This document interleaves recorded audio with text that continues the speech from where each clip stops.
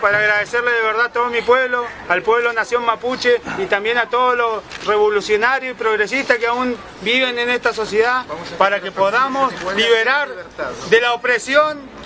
a todo el mundo, porque no solamente los mapuches tenemos derecho a luchar, Espero que en este momento histórico empiece a replantearse todo el mundo la verdadera historia y la estructura de esta sociedad capitalista y opresora que nos mantiene en la miseria, que se mantiene a fuerza de represión y tortura por culpa de esos perros de azul que nos mantienen encarcelados y que cuidan los intereses de los poderosos, de los ricos. Nosotros, la nación mapuche, vamos a darle una lección de historia y vamos a cambiar esta historia de opresión que durante 130 años nos ha mantenido en la marginación Así que hermano, muchas gracias. Esto es el resultado de la movilización de todas las comunidades, de ambos lados de la cordillera y de la gente que solidariamente ha comprendido el nivel de conciencia de nuestra nación, el nivel de conciencia de nuestros milicianos, de nuestros combatientes. Un abrazo y saludo grande a todos mis peña y lamien que combaten en ambos lados de la cordillera, a los huaychafes que arriesgan su vida todos los días y no importa que los valen, no importa que los gaseen, siguen combatiendo por la libertad.